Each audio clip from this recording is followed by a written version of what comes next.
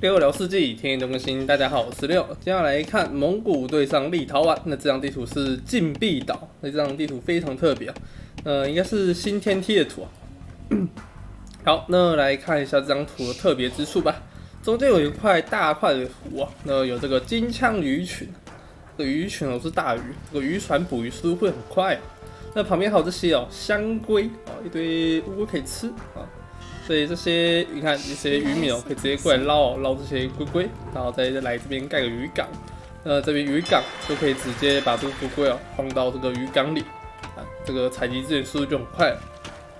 那算是这张这张地图的小细节哦，所以这渔港也不是说想盖哪里就盖哪里。好，那这张土器跟游牧一样哦。就是你一开始啊，要赶快去挖木头，然后产出第一艘渔船，然后这样让自己的渔船不要断，然后肉也不要断，也不要断村这样子。所以这个资源掌控啊是非常注重的。那一开始是五个人去挖伐木，然后赶快去盖下这个渔港，然后再用这个渔港旁边的这个小龟龟采这个食物。那这边立陶宛，哎，这个是谁？哦，蒙古。蒙古这边的玩法好像就不太一样，它这边是。先采了一堆食物哦，呃，渔港的话比较往下一点。那这边看起来是立陶宛的开局是比较 OK 的。好，那来看一下，哎，看这一艘渔船一出来之后，嗯，立陶宛这边经济哦就会比蒙古好上很多。现在光视野分数，立陶宛就已经领先了。然后呢，我们这边先加速一下，看一下蒙古州怎么发展。蒙古应该还是要赶去盖渔港。哇，这边渔港盖的细节就不是很好，刚刚没有贴到这个。哇，结果还被立陶宛的刺头袭击啊！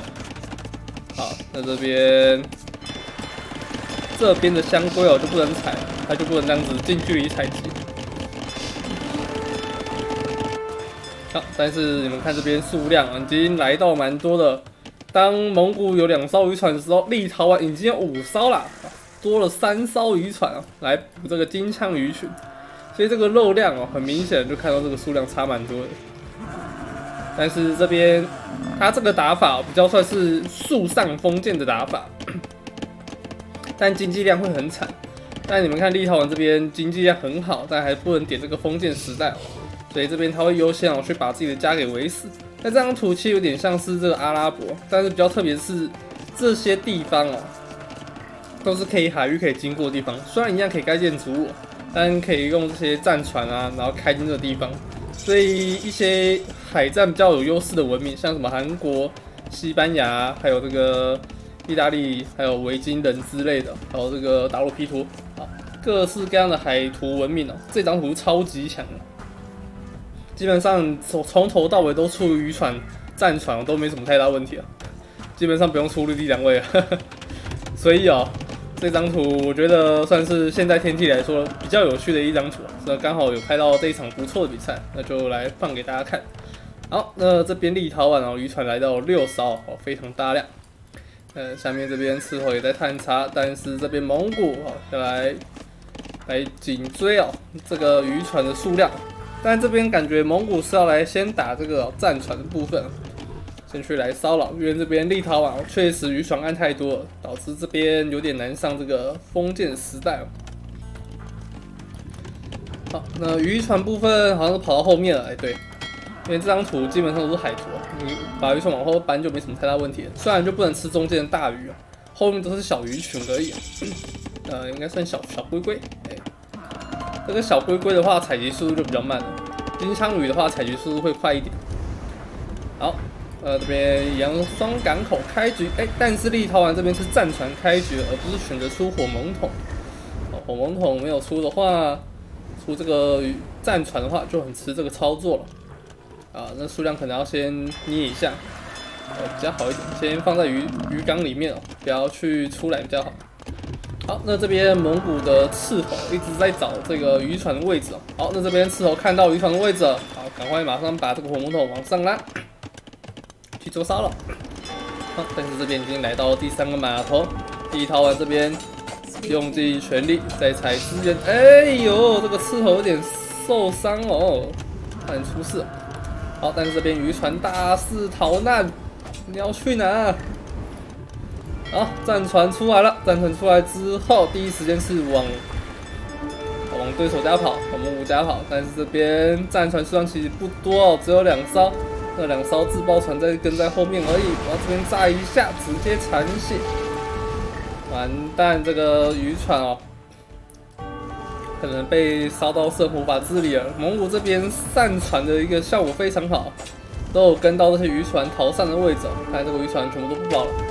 好，那这边立陶宛优先使用这个战船，哦点掉了一艘渔船，但是被后面三个火木桶追着跑。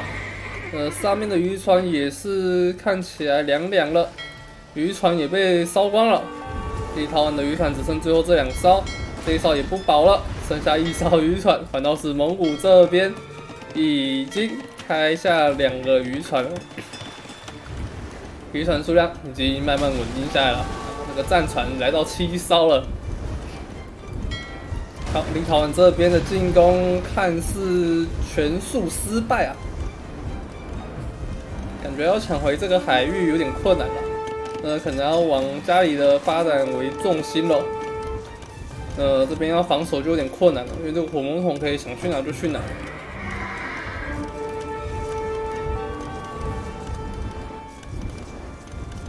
好，那现在啊，立陶宛有一个选择，就是在这个三港口地方插下箭塔，然后去做一个箭塔反击的一个方法。但是这个方法比较投资成本比较大，要挖石头，而且盖下去也不一定哦，海域打得回来。所以立陶宛现在有两个选择，一个是插箭塔，然后反击，然后出自爆法，好扎光，然后再出这个战船秀操作，然后插箭塔防守。然后再就是直城啊，直接直扯上城堡时代，比较好一点。哎，但是蒙古这边也太狠了吧！明明海运已经打赢了，还在出这个火风筒，非常压制性的打法。OK，那这边自爆法直接出来炸了一波，好，这边再炸一下。OK，哇，这边炸的不错哦，全部炸的差不多。好，那看起来立陶是选择使用自爆法来防守的一个方式哦，跟我刚刚讲的差不多。呃，选择方式使用自爆法加火猛桶直接硬打。好，自爆法的效果还不错，基本上已经哦一次炸两艘，回来了。那这边蒙古的一个火猛桶的数量就被巨减了。那这边还有三个码头在产这个火猛桶，应该是可以把数量拿回来的。但是立陶宛这边投资的成本有点多，你看资源数有点就不太上，说明数也有点少。那蒙古已经快要上到城堡时代，那这边还是在努力的想要出渔船哦，来这个防守。好，这边把残血拉回家，用村民去修一下。那家里渔船没有补。好，在这边盖下一个魔房，看起来是想来种田哦，不然它快要断肉了。好，这只水牛吃完就要断肉了。那海域不能捕鱼的情况下，看起来立陶宛并没有这么好过的感觉。但是蒙古这边哦，黄金挖的是比较多的，虽然肉也是很少，只有两艘渔船在捕鱼，基本上都是在靠渔船的肉在把这个肉量撑起来，也没有进行种田的动作。这张图真的是有有别于一般的海图，这打起来真的是太太多样化了，不像一般的阿拉伯这种斯文啊，肉肉很容易断的这张图。那如果要撒农田的话又很危险，你如果不是撒到这种青草地上的话，很容易撒这种地方就会有点问题。可是我记得这个地方好像也不能撒田，所以这边感觉还是要疯狂的去捕鱼比较好。然后利用这个渔船哦，去造这个渔网，去撒这个渔网出去，然后来增加自己的肉量。这张图肉量获取量真的很惨了，你看这个立陶宛的肉 四十一肉而已啊。好，但是这边不小心按上了一招贸易商船，这个蒙古是不是按错了？他是想跟对方贸易吗？哈哈。贸易商船走出来，好，直接在你家贸易。哎哎，你想，哎，奇怪，这艘船怎么不会攻击？哎呀，是贸易商船啊！啊，只好去你家贸易一下。好，但是立陶宛表示，我们不允许黑船贸易，我们是锁国政策啊，杜绝黑船，直接把这个贸易商船给击毁了。好，但是立陶宛渐渐的使用自爆法跟火猛桶，慢慢打回来这个海域优势。那这边的话，哎，有两艘，有没有看到呢？直接炸个一下，直接残血是有机会收掉的。哎，赶快上去炸个一波，炸里面一点。哇，炸到村民，还炸到一艘船哦。哇，这边蛮赚的哦。然后这边火木桶应该可以烧掉一艘。OK，那再杀一个村民可不可以？再喷一下，再喷一下，再一下，再应该可以，应该可以。再喷一下，喷一下，耶！又杀了一村，哇！那这边立陶宛有点打回来的感觉了。这个自爆法一直炸，一直炸，啊，炸到这个蒙古有点快受不了了。好，那肉量的部分哦，开始在家里种田，然后再杀，再吃这个外面的香龟。哦，有这个香龟的话，就可以把这个肉量拉起来。反倒是蒙古这边点到了城堡时代，那这边感觉是靠贸易上去的，刚肉量是确实不够。那也没什么，也没什么人在采肉，都是在这边伐木、采金矿那些的，所以这边可能要找个机会哦，去把这个鱼哦补回来比较好。那如果要撒渔网的话，这种地方是不能撒的，只能在这种小小地方河岸去撒这个渔网。所以这张征途的争夺这个海域哦是非常重要的一件事情。基本上谁打赢了海，谁就打赢了这场比赛，可以这样这样说。所以我觉得这场维京的应该是蛮蛮猛的，因为维京本身经济加成又很强，维京战船伤害又很高，然后射程又很远。好，那看一下木头，木头十五人，哇哇木头蛮多的，两边都是蛮多的一个状况。好，但是蒙古上到城堡时代之后，马上要去点这个弩炮战团升级。升级点出来之后，应该就可以稍微把立陶宛打回去了。但是立陶宛这边也可以点城堡时代。好，火猛桶还在按，弩炮战船的升级也在按，但是家里啊没有在补这个渔船，渔船没有补有点可惜。是我就会偷按个几招，偷补个鱼压金。哎，刚刚说完你就按了。哈哈对，没错啊，还是该按渔船的嘛，不然这个你打银海的目的就是为了造渔船，打银海然后不造渔船，这个意义就不太大。好，但是这边马上海域又被打了回来的感觉，三艘火战船直接出来，哦，变四艘了，哦，直接来包夹这边火猛桶，来火猛桶这边集火效率还不错，很快就可以烧掉一艘船。好，那看一下这边能不能烧掉大量的渔船呢？右边，右边能吗？可以再烧吗？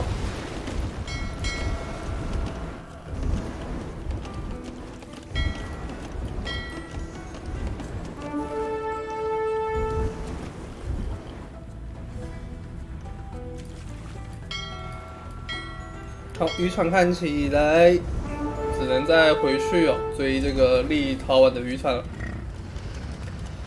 立陶宛的渔船可能要赶快逃难了，哎，再逃了，再逃了，边大军压境哦，这个渔船四标逃，毕竟还没有城堡时代。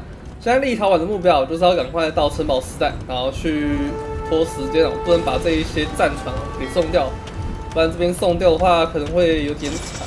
我一一讲完就想送了。鉴于火战船这么多情况下，其实是很难打得赢的。好，那咱自爆法又出来，准备要来炸一波，嘣啊嘣！哇哦，这一波反击打得不错啊！这个自爆法拯救了这剩下这四艘火猛桶。好，那这边自爆法建大功之后，马上补一下这个弩炮战船升级。那聪明哦，赶快要来再修这些残血的这些火猛桶，把这个血量太低啊！哎，但是蒙古盖下城堡之后，马上出这个蒙古图记。要来反杀对手，那这边立陶宛可能会有点惨哦。立陶宛完全没有防御能力哦。哎，这有一个莫斯科蜥蜴哦，好，科莫多巨蜥，这个蜥蜴开始在咬了，没关系。但是火战船，哇靠，直接自爆炸死了三只，哇，自爆法这张图太爽了吧，哇，一直炸一直爽。哦，这个海图真的蛮蛮好玩的。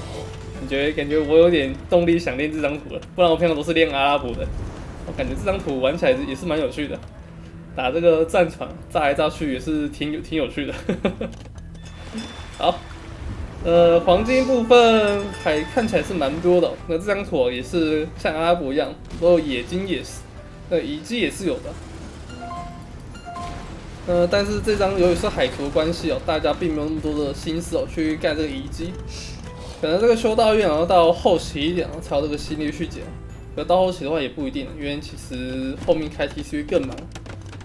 好，大量火战船直接来到了蒙古家门口，但这边自爆船也过来，哎，完蛋！哎呀，直接被炸到残血。好，这边可能要再损失一台火战船，但是有城堡在后面 cover，有城堡在后面的话，这边船就不能太嚣张，可能还是要后撤一点，不能直接碾压。那这个城堡盖的位置还真不错，可以守到金矿。还可以守到一些铁，重点是这些渔港都可以守住。好，但是下面这边完全没有东西可以挡，好，所以这边火战船是往下面冲。好，两只蒙古突骑慢慢走到立陶宛家里，这边蒙古突骑过来，哎呀，这边立陶宛可能有点头痛哦，家里完全没有任何单位可以反手。好，这边用 TC 看可不可以直接射掉，哎呀，还有一只没射掉，那还可以哦，应该会死个两三村哦。但是有火爆破船过来，应该是可以解得掉。嘣！OK，立陶宛的反制速度还算是蛮快的，但是自己的肉量越来越不够了。虽然现在是三 TC 在运行，但是它的农田数量太少，还是要靠这个补油去吃这个。但是中间的火战船的数量又多了起来，两边的海战又再度打了起来。好，爆破船开山，准备要再来爆个一波。嘣！哇，三台残血。好，再来一波，再来一波。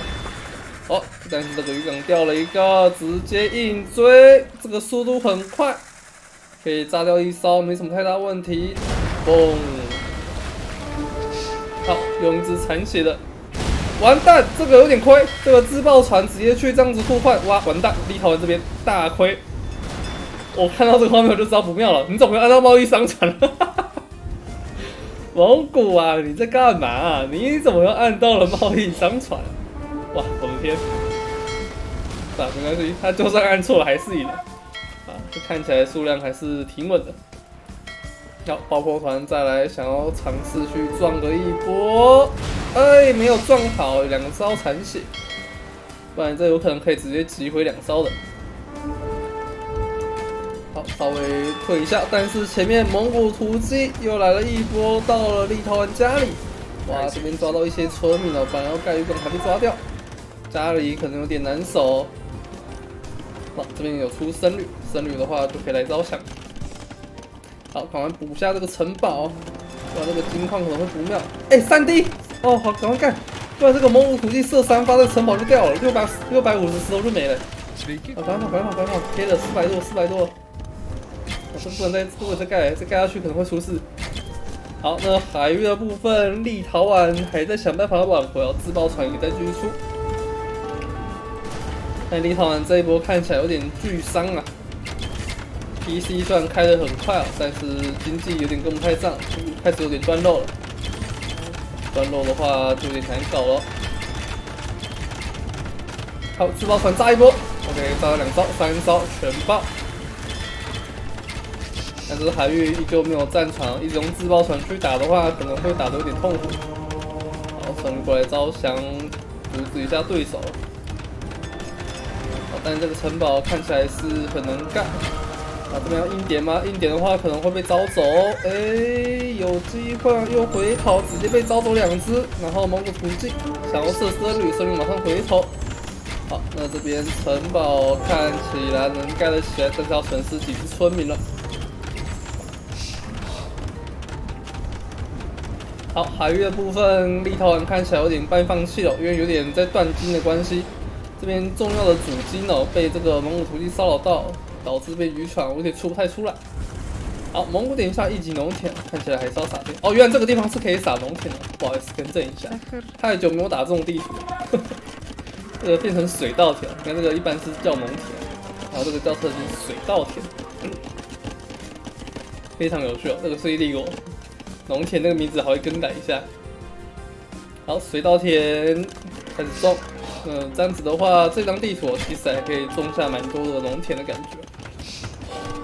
但是这些农田啊，还是会被这个渔船给骚扰到。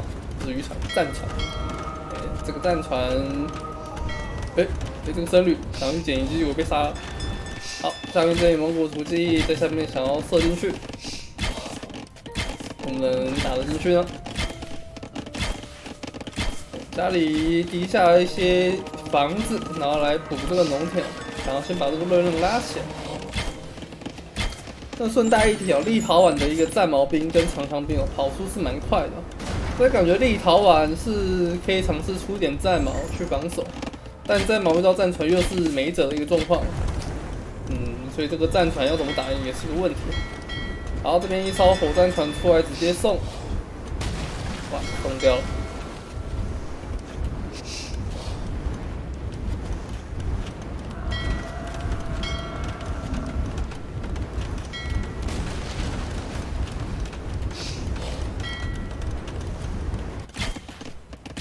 那下面这个房子看起来快不保，但是大量村民往前，哎，这个蒙古看起来是要来前置城堡了，前置堡，然后压 TC 的位置，直接重击下方这里，好像是一个不错的选择。虽然这里没有任何资源可以挖，只有木头。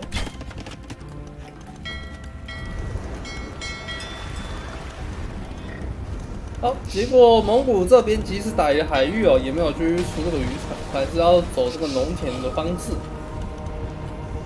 看来还是蛮注重海域有没有打赢这件事情。好，房子慢慢被修了回来，城堡盖下了。我们有一只巨蜥在偷打着村民。好，黄金也慢慢往外挖了。好，终于海域有慢慢打出去的感觉，立陶宛又可以。出境了，港口出境，但是这个城堡盖的位置有点尴尬，这边是不能盖城堡吗？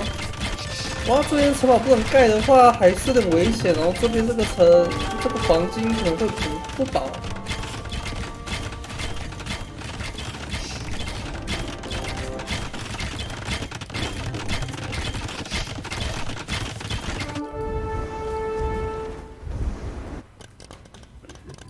好，立陶宛在偷偷捡遗迹。那立陶宛的遗迹，只要捡越多的话，那个骑士的伤害就越高。但看起来立陶宛现在要出骑士是有点困难的，虽然肉量感觉现在可以升到帝王时代。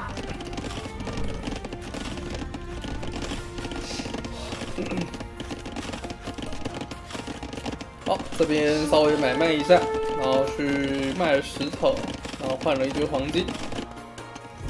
上到帝王时代，但是蒙古这边早就已经要到帝王时代了。那这边只用火战场来杀这里野金的村民，看起来蒙古这边会蛮强的哦。这边帝王上去之后，大冲车巨头开闸，立陶宛可能会撑不住。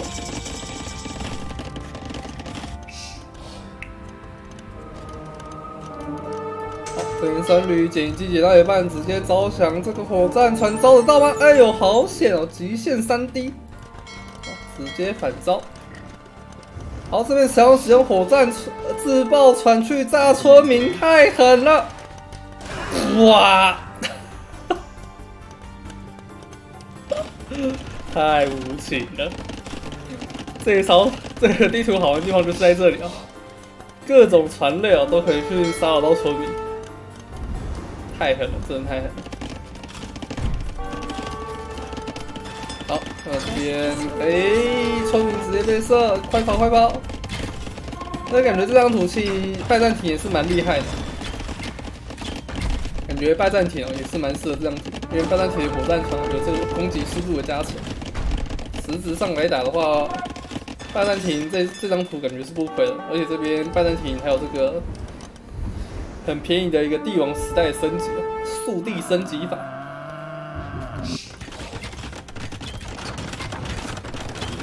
好，先打一掌，巨头两台了，肯定能修得回来。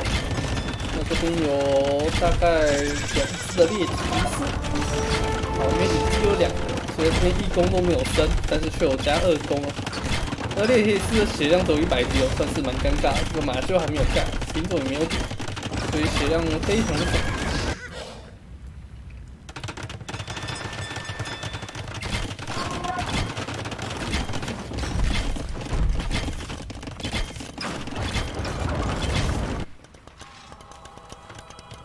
好，大量火山船直接看到立陶宛的挖金处。好，这边点一下砖瓦基数，要来提升建筑的防御力。看这边村民大量被火山船烧，但是这里有自爆船两艘，直接硬炸，嘣嘣。然后再来招强制写满的火战船，就可以反杀全部的单位了。但是这边僧侣在发呆，村民还在被烧。在努力防守住城堡这个位置，城堡有这个砖瓦技术之后，抗巨头能力就会好一点哦。但是这边还在努力在去这个猎骑士，猎骑士攻击十六，哇，还点下精锐了，精锐猎骑士威力很猛的。好，那这边招枪支满血的火战船应该是能招到，没什么太大问题。OK，找到了。立陶宛这边跑出来升级，但是品种还没有升，依旧在修这个城堡，在拖时间。立骑士数量越来越多，感觉这一波有机会打得赢，但是立陶宛忍不住了，三防还没有好就要冲了，还有五秒，但是堵住，尴尬，哎呀，这是要从右边了。从右边的话能过得去吗？后面家里赶快堵，猎提斯兵分两路，到后面猎提斯开始要包过来了。中间这个地区有点难守，猎提斯后面直接攻击蒙古图记。蒙古图记虽然倒下蛮多的单位，但猎体师也死的差不多了。好，再看一下猎体师要还是要往后走，不能往前。好，这边要先击毁大量的一个蒙古图记，蒙古图记很痛，直接打下了巨巨。为什么投降了蒙古？蒙古这边大量蒙古图具被打倒之后，觉得这一波进攻没希望了，突然就点下了投降啊，有点可惜。我不然我觉得蒙古是蛮有机会的啊，但是这边蒙古没有开 TC 啊，难怪啊，难怪要投啊。这边村民数差了快四十村了，我没想到立陶宛这个猎提斯哦这么强，精锐猎提斯啊，无视防御力哦，直接敲烂这些蒙古图记哦。但其实蒙古突击本身就没什么防御力啊，基本上是零防，所以 所以这个嗯，打这个蒙古突击好像意义不太大，就是它这个特殊能力了。但是它基本伤害是很高，十六攻，大概四下四到五下就可以戳死一只。好，那看一下经济的部分吧。经济看起来也是蛮 OK 的，这张图帝王时代两边都是差不多。那这边农田哦，也是点的比较晚一点哦，到二十几分才点，才开始在种田，因为前面打太久的海战。那这张地图整体起来感觉玩起来是不错的。那如果想玩这张图的玩家们，可以赶快去天梯上跑来看，说不定就可以玩到这张图了。好了，那我们今天影片就差不多就到这了，我们就下次再见喽，拜拜。